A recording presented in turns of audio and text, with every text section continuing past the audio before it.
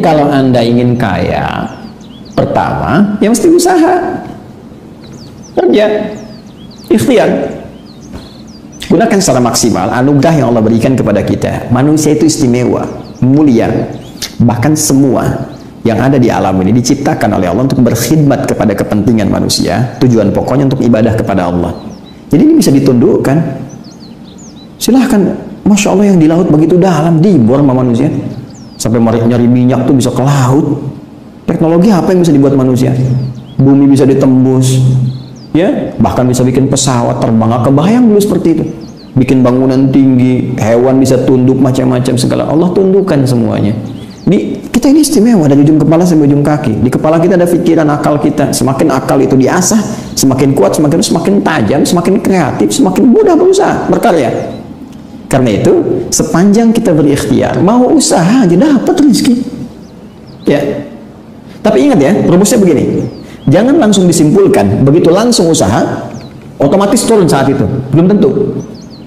Nanti Allah akan melihat, ya, melihat apakah dalam usaha ini ada semangat untuk mendekat kepada Allah. Ya, kadang-kadang misalnya begini, ada orang usaha sambil doa dulu, sholat duha, terus usaha, oh keras doa, zikir apa pulang-pulang nggak dapet, kan? Ada yang begitu tuh yakin saya. Kenapa salah satunya? Karena Allah ingin melihat yang lebih dibandingkan dari pekerjaan dunia. Itu bekal akhirat. Ya, kalau dunia mas sekarang dapat, besok bisa habis. Dapat 100 ribu beli pulsa. Besoknya habis. Terus kalau pulsa hidupnya meninggal, wafat, untuk akhiratnya mana? Makanya kadang-kadang yang dilihat oleh Allah paling maksimal itu, itu ibadahnya. Karena itu bekal yang hakiki untuk pulang. Allah tuh maha pencemburu. Kalau orang banyak ngejar dunia, sementara ibadahnya sedikit, itu dilebihkan dulu oleh Allah ibadahnya.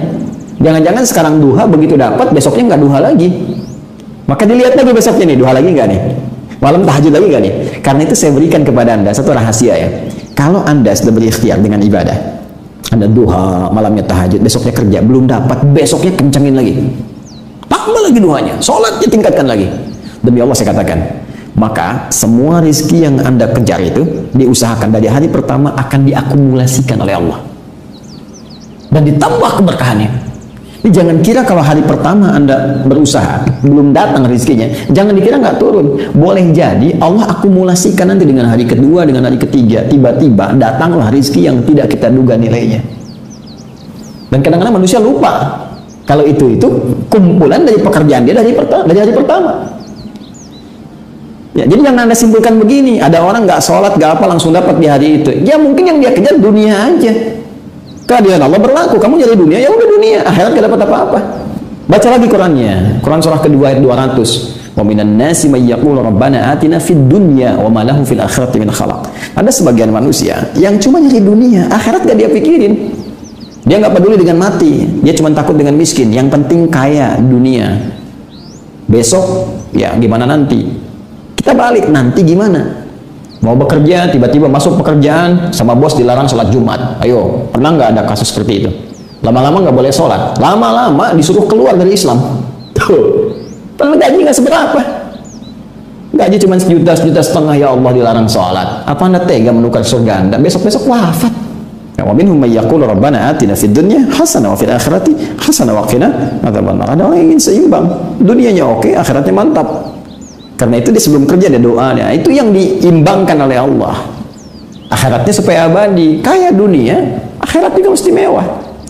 Jangan sampai kaya dunia, akhirat nestapa. Itu tidak diinginkan. Allah itu maha kasih. Ya, begitu cara membaca. Mandalla ada khairin. Siapa yang menunjukkan pada kebaikan, tunjukkan saja. Falahu ajruhu misla ajri fa'ilihi. Dia akan dapat pahala yang sama dengan yang mengerjakannya. Min ghairi an yanqusa min alhi syai. Tanpa dikurangi sedikit pun. Ya. Jadi kalau ibu misalnya tunjukkan kawan nih dibuat di status. Itu begitu dilihat oleh orang lain ibu dapat pahalanya